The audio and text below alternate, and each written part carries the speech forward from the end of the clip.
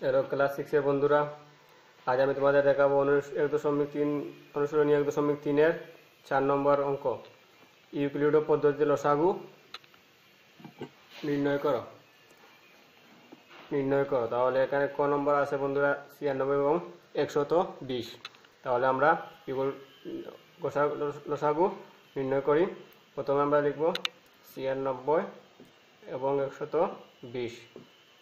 ছিয়ানব্বই জোর সংখ্যা, একশো বিশ ও জোর সংখ্যা। তাই আমাদেরকে জোর সংখ্যা দ্বারা এগুলোকে ভাঙতে হবে।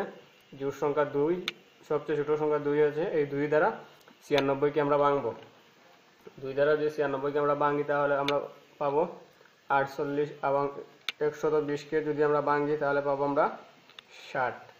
আবার যদি আমরা দুই দ্বারা আগে ভাঙি পাবো চব্বিশ। আর ষাটকে দুই দ্বারা বাংলা পাবো তিরিশ। এখনও জোর সংখ্যা আছে আমাদের, তাই আমরা এখনও জোর সংখ্যা দ্বারা ভাঙবো। জোর সংখ্যা বারো হবে, আবার হবে পনেরো। দেখো বন্ধুরা, এবার কিন্তু একটি পনেরো, একটি বারো, কিন্তু একটি জোর একটু বেজুর তাহলে আমাদের এমন একটি সংখ্যা বেছে নিতে হবে যে সংখ্যা দ্বারা উভয় সংখ্যাকে বাংলা উভয় সংখ্যাকে ভাগ করা যায়। তাহলে আমাদের তিন বারোর মধ্যে ভাগ করা যাবে, আর তিন দ্বারা পনেরোকে ভাগ করা যাবে। তাহলে আমরা এখানে নেব তিন। তিন দ্বারা বারোকে ভাগ করলে হয় চার, তিন তিসারা বারো এবং পনেরোকে ভাগ করলে হচ্ছে ভাষা পনেরো। এখন বন্ধুরা, আমাদের কোনো বাংলার কোনো সিস্টেম নেই। বাংলার কোনো সিস্টেম নেই, তাই আমরা এগুলার লসাগু নির্ণয় করতে পারি। তাহলে আমরা লিখতে পারি সুতরাং নির্ণয় লসাগু।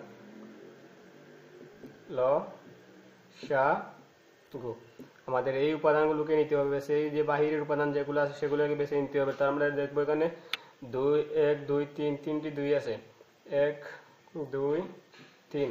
পরবর্তীতে তিন আছে একবার। চলো বন্ধুরা, পাঁচ আছে একবার, তাহলে আমরা এগুলা এবার কি করতে পারি? এগুলাকে আমরা এবার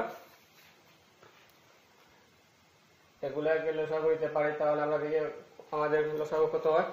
দুই একে দুই দুগুণা ষাট তিসা দুই একে দুই দুগুণা ষাট সাত দুগুণা আট আর তেরো, চব্বিশ, তিন চব্বিশে হবে বাহাত্তর, আর পাঁচ বাহাত্তরে হবে একশত পঞ্চাশ। তাহলে বন্ধুরা আমরা সরি পাঁচ বাহাত্তর হবে আমাদের, পাঁচ বাহাত্তর হবে আমাদের চারশত আশি। তাহলে বন্ধুরা আমরা ক নম্বরের উত্তরটা পেয়ে গেলাম। এবার আমরা ক- নম্বরের উত্তরটা দিই সমাধান করা যায় কিনা, তাহলে আমি এগুলো মুছে দিচ্ছি। আমরা পরবর্তীটা, পরবর্তী অঙ্কটা দেখি। ক আমার এখানে লিখে আছে,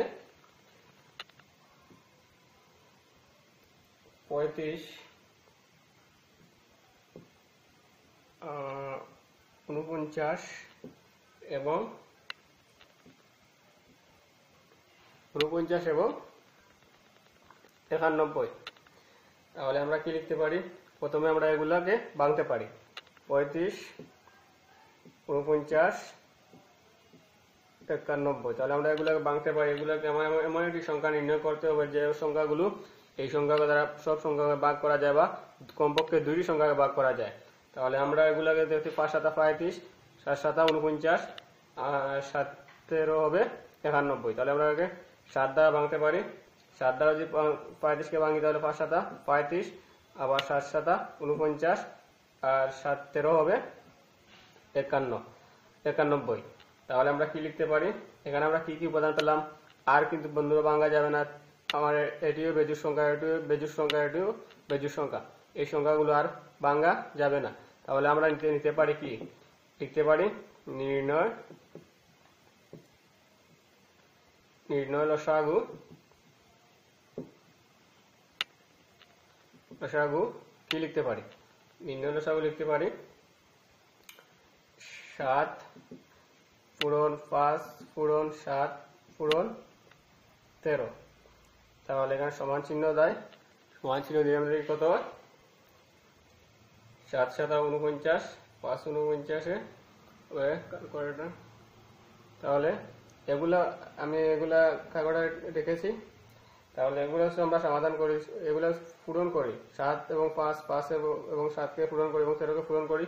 তাহলে আমাদের উত্তরটা আসে উত্তরটা আসে তিন হাজার একশত পঁচাশি। তাহলে বন্ধুরা আমরা কয়ের আনসারটা পেয়ে গেলাম। এবার আমরা গয়ের আনসারটা দেওয়ার চেষ্টা করি। আমাদের গ এখানে কি কি আছে? তাহলে আমরা গ লিখতে হবে এগুলো মুছে দিতে হবে প্রথমে। তাহলে দেখি আমাদের গ কি আছে। গ আছে আমাদের তেত্রিশ, পঞ্চান্ন, ষাট, আশি, নব্বই। তাহলে এগুলাকে আমরা লসাগু নির্ণয় করব। তাহলে এগুলাকে প্রথমে আমরা লিখে নিতে পারি। ষাট, আশি, নব্বই। যেহেতু আমাদের এখানে জোর সংখ্যাও আছে, বেজুর সংখ্যা আছে, তাই আমরা প্রথমে জোর সংখ্যাটাকে, জোর সংখ্যা দ্বারা আগে ভাঙতে চেষ্টা করি। দুই দ্বারা ভাঙবো, তেত্রিশ যেরকম আছে সেই রকম থাকবে, পঞ্চান্ন যেরকম আছে সেই রকম থাকবে, কারণ এগুলা ভাঙা যাবে না। ষাটের মধ্যে ত্রিশ যাবে দুই যাবে ত্রিশ বার, আবার আশির মধ্যে যাবে চল্লিশ, আর নব্বইয়ের মধ্যে হবে পঁয়তাল্লিশ। এখনও কিন্তু আমাদের দুটি সংখ্যায় জোড় আছে, তাহলে আমরা জোড় সংখ্যার দ্বারাই ভাঙবো। দুই দুই দ্বারা ভাঙবো, তেত্রিশ যেরকম আছে সেরকম থাকবে, পঁচপান্ন যেরকম আছে সেরকম থাকবে। ত্রিশকে যদি দুই দ্বারা ভাঙি, তাহলে পনেরো পাবো। আবার চল্লিশকে যদি আমরা দুই দ্বারা ভাঙি, তাহলে পাবো বিশ। আর পঁয়তাল্লিশ তার যেরকম আছে সেই রকম থাকবে। এখন আমাদের এমন একটি সংখ্যা নির্ণয় করতে হবে, যে সংখ্যাগুলো কমপক্ষে দুটি সংখ্যার মধ্যে এখানে যাবে। তাহলে আমরা দেখি তিন দ্বারা ভাঙতে পারি, তিন এগারো হবে আমাদের তেত্রিশ পঞ্চান্ন যাবে না, পঞ্চান্ন যেমন আছে সেমন থাকবে পনেরো মাঝে যাবে পাঁচ বার, পাঁচ বিশের মধ্যে যাবে না, তার বিশ যেমন আছে তিন পনেরো পঁয়তাল্লিশ। তাহলে এবার আমাদের আমার কোন সংখ্যা দ্বারা ভাঙা যায়, এটাই ভাঙা যায়। এখন আমরা এটাই ভাঙতে পারি। পাঁচ দ্বারা। এগারো যেরকম আছে সেরকম থাকবে। এগারো, পাঁচ, এগারো পঞ্চান্ন, পাঁচ পাঁচ, আট, চার, পাঁচা, বিশ, আবার তিন, পাঁচা, পনেরো। তাহলে এখন আমরা দেখি দ্বারা ভাঙতে এখন আমরা ভাঙতে পারি শুধু এগারো দ্বারা ভাঙতে পারি। এক এক এক, চার, তিন। তাহলে আমরা কি লিখতে পারি? সুতরাং নির্ণয়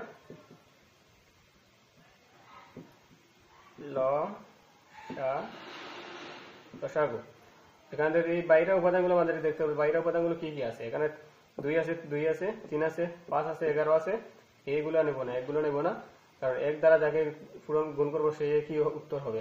তাহলে চার এবং তিন নেব। তাহলে আমরা লিখি, দুই পূরণ, দুই, তিন পূরণ, এই পাঁচটা নেব, পাঁচ, এগারো নেব, এগারো, আর নেব চার।